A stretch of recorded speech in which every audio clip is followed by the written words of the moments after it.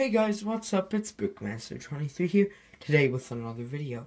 Today we have our first um, Bricklink haul, besides Brickworlds, but I didn't document it, which is too bad. So this is Bricklink haul number one. Sorry about the shaky camera. Um, hopefully that stops shaking. Um, yeah, but let's get started. Um, I think there's no information on the inside. Um, well, I there is, um, oh, and then there's a packing order. Uh, so here's what I ordered. I ordered, um, 250 of these round, um, slope things.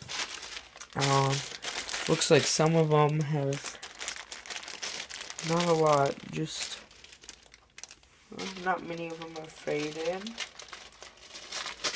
Yeah. Um, sorry about that. Um, yeah, so I will be using that on my B24 MOC.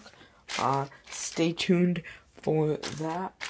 Um, go check out, I think it's Arizona Bricks on Bricklink.